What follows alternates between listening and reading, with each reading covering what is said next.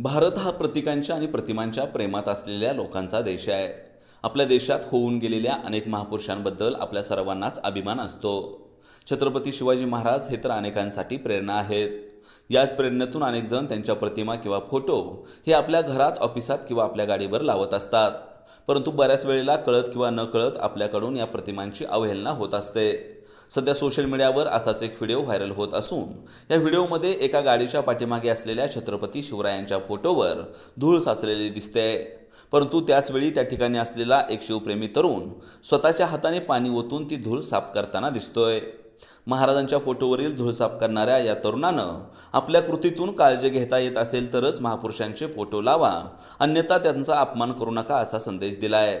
सध्या या तरुणाच्या या कृतीचं सोशल मीडियावर प्रचंड कौतुक होत असून समस्त शिवप्रेमींसह प्रत्येकानेच आपल्या महापुरुषांचा आपल्याकडून कोणत्याही परिस्थितीमध्ये अपमान होणार नाही याची काळजी घेणं आवश्यक आहे.